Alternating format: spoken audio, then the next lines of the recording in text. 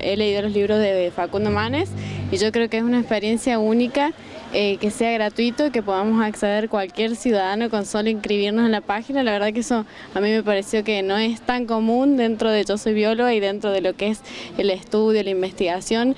Por ahí eh, tenés, no tenés acceso a tantas oportunidades y esta oportunidad de, de escucharlo, la verdad que estuvo muy bueno. Soy técnica en acompañamiento terapéutico y bueno, quería escuchar sobre, sobre la empatía, tiene que ver con nuestro trabajo, así que estamos eh, pensando en cómo podemos implementar las neurociencias, digamos, en, este, en esta área. La última charla esta del cerebro, cómo funciona, me emocionó más todavía. Me dejó pensando porque hay cosas que uno vive en hechos y que vos no lo, no lo ve y no lo relacionás. Yo vengo desde la primera charla que tuvieron, eh, hermoso todo, eh, eh, de jóvenes, de chicos pequeños, de todos fueron experiencias muy interesantes, me gustaron todas. Muy buen curso de capacitación, ha venido bastante gente, esperemos que siga este ciclo para el año que viene, para que tengan más posibilidad la gente de aquí de Mercedes. ¿Qué opina con esto de insertar, de la participación y los jóvenes que sean el presente? Son el presente del país, no solo el futuro,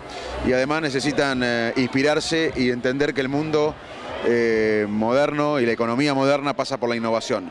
Así que estimular a los jóvenes que apuesten a la innovación, a la ciencia, al desarrollo, es lo que mejor, y a la educación, es lo que más podemos hacer por ellos en la Argentina. Recién le preguntaba a un chico de 13, 14 años que por qué leía el libro y dice, no, yo leo todos los libros y estoy interesado en la ciencia, en el cerebro. Y la verdad que eh, me gusta porque la verdad que si bien es un reconocimiento personal me interesa que, que los temas, que los chicos aprendan de estos temas, porque son los temas que están eh, discutiéndose en el mundo. A veces en Argentina no discutimos los temas eh, que van a generar crecimiento y que se discuten a nivel global. Así que que los chicos estén interesados en esto eh, me llena de optimismo. El cerebro necesita, como bien decías vos, eh, estar estimulado eh, con afecto, con nutrición, con estímulo cognitivo y también darle posibilidades, brindar posibilidades. Entonces, a mayor tecnología disponible, más posibilidades de desarrollar su talento. Así que me parece una excelente iniciativa. Veo a la gente con ganas de salir adelante, con optimismo y una calidez humana que yo que viajo por el mundo no lo encuentro en ningún lado. ¿Qué es lo fundamental que le dejó Pedro Mann en los valores en sí en su vida? Gracias por la pregunta, me emociona. Mi papá me dijo, en la vida hay dos cosas importantes, el amor y el conocimiento. No solo el amor de pareja, sino el amor de la gente, el, eh, el afecto y el conocimiento, porque nos hace más libres y nos da más oportunidades. Los participantes, los que han venido, un elogio, un agradecimiento, pero es mucho más valioso el que no nos conocía y se ha acercado por primera vez ha, depositado, además de los sueños, confianza. Seguir, seguir este camino. Es mostrar lo mejor que uno tiene. Hay quien puede pensar que las cosas no se pueden hacer porque vienen, así siendo. No, no. San Luis se puede hacer. En la Argentina se debe poder hacer y, caminar hacia los sueños. Y también debo demostrar, y es lo que quiero comprometerme, a abrazar esos sueños, a abrazar este nuevo centro, esta usina de ideas, para que la confianza que han depositado se la devolvamos con realizaciones, con apertura. Quiero destacar los nuevos líderes.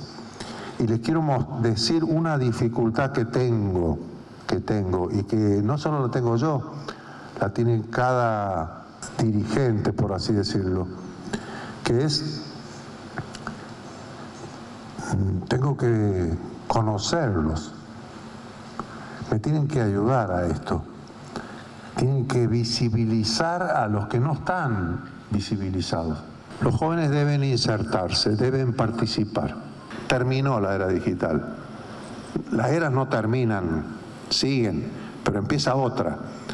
Eso de terminar es una manera de decirlo. Estamos en la era de la robótica. Entonces, este muchacho que está acá ha vivido de alguna manera en cuatro eras de la humanidad, o en todas las eras de la humanidad. Impresionante y, ahí ha vivido los cambios.